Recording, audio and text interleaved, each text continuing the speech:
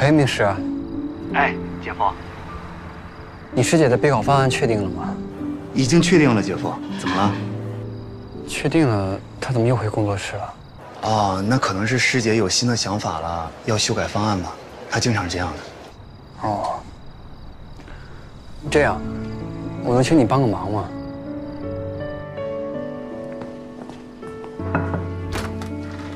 师姐，还有我们，还有我们，你们怎么过来了？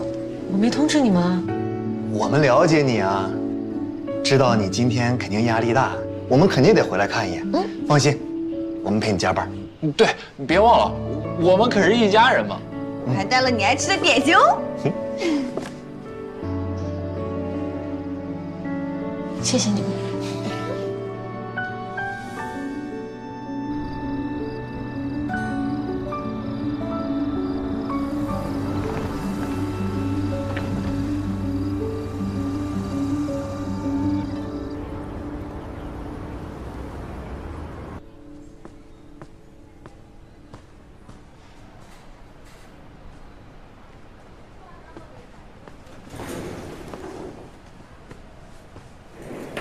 还有一位设计师正在赶来的路上，一会儿就到。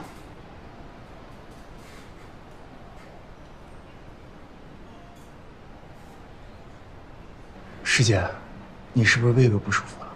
是不是咖啡喝多了？要不要吃粒药？没事，方案过了就好。等结束之后再休息吧。嗯。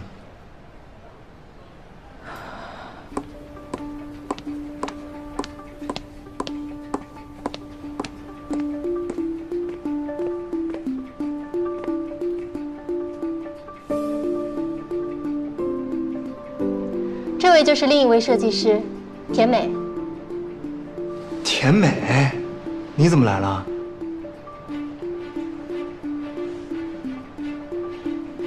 请。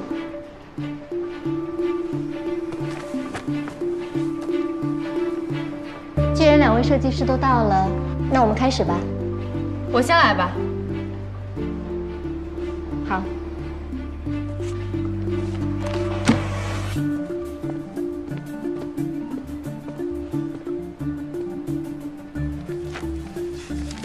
这次的公益医院项目是将一所旧医院收购回来，重新进行翻修改造，所以我的整体方案思路是这样的：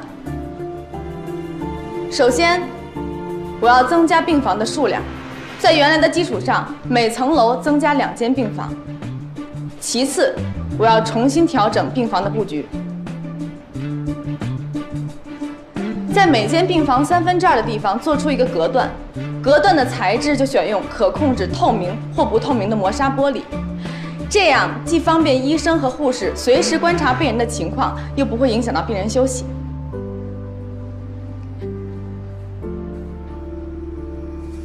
这是效果图，各位请看。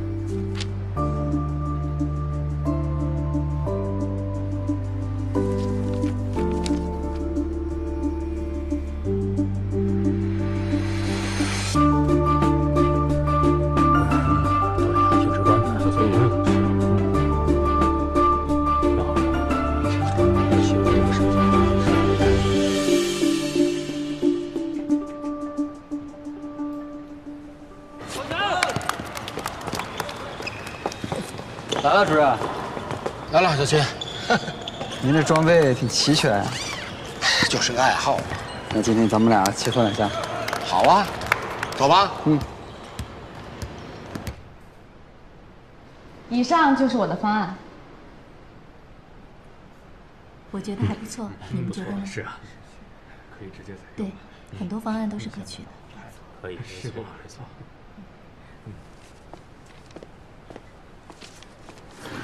田美，你为什么抄袭我们方案？抄袭？还有这啥抄袭？徐工，说话可不能无凭无据的。在你们研究医院新方案的时候，我从来没有去过工作室。你凭什么说是我抄袭你们方案呢？你是不是抄的心里清楚？师姐平时对……我希望二位如果有什么问题的话，可以通过私下解决。我们到这儿来不是看你们吵架的。二位请坐。是出了什么问题吗，苏工？是你们的方案和田工的撞车了？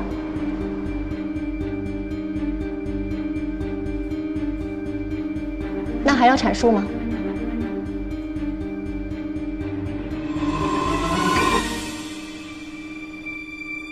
我当然要阐述。请。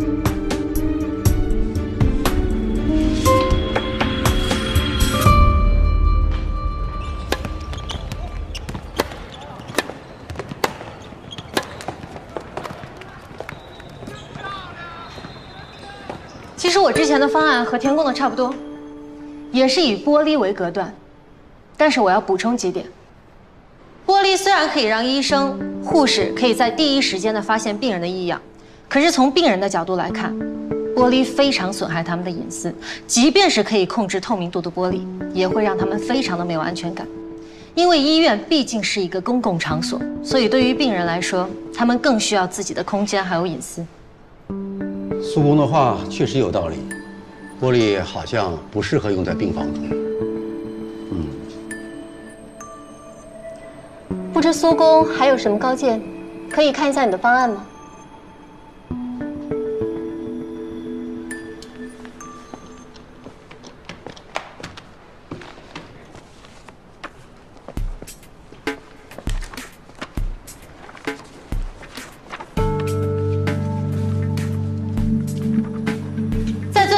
属性的基础上，我们要做到真正的以人为本。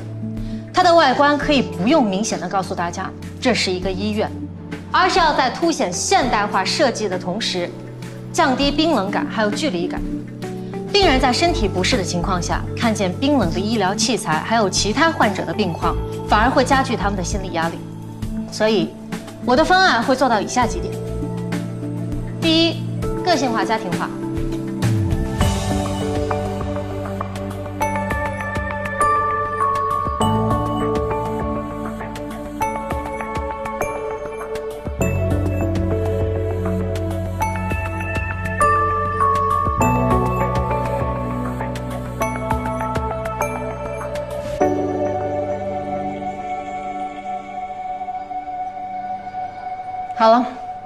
上就是我的阐述，谢谢。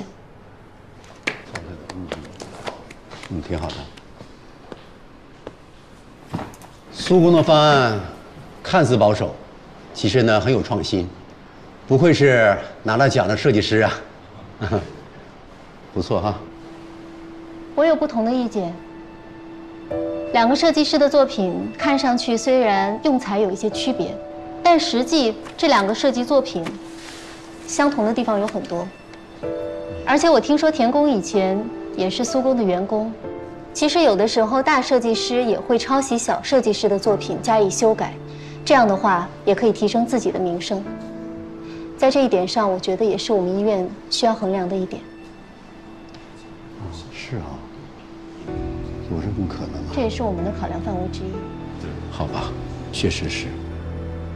你的意思是，我抄袭甜美的方案？倒也不完全是这个意思，只是目前就这两个作品来看，确实看不出来设计权到底在谁的手中，是否会陷入抄袭风波也犹未可知。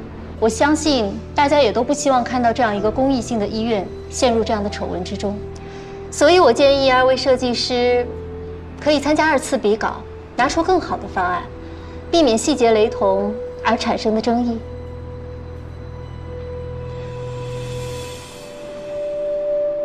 不知二位设计师还有什么意见吗？我同意。好，那就再给你们一些时间，希望你们可以拿出更好的方案。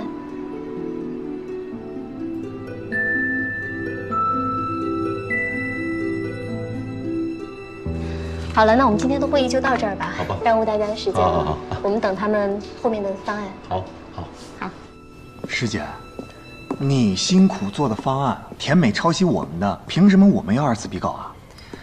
我们现在还没有足够的证据。那也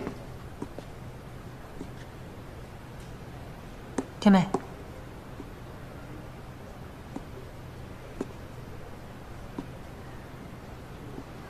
你没有话要跟我说吗？辞职信我已经发到你邮箱里了，为什么不提前跟我说？不敢吗？这没什么好说的。怎么，苏公输不起？说实在的，就能力而言，我从来没觉得自己会输给你，我只是差一个机会而已。田美，在你最难的时候，我让你加入了苏，你就是这么回报我的。是，我很感谢你当时给了我一个机会，但我也记得在面试的时候，你对我说过，做项目你更看重的是态度，而不是速度。现在的我很明确，我要的就是速度。所以你就不择手段，剽窃我的创意。苏公，话可不能乱说。创意相似那是常有的事情。再说了，也没有人规定玻璃只有你能使用吧？是没有人规定，师姐可以用玻璃获得 ADA 大奖，而你，没有师姐的指导，只能把玻璃玩炸。师姐的成功不是偶然的，靠的是实力，不像你，只会偷机取巧。那咱们就走着瞧。还有第二轮比稿，苏莹，没有人会一直赢的。只要有我在，你永远都别想赢。拭目以待。甜美。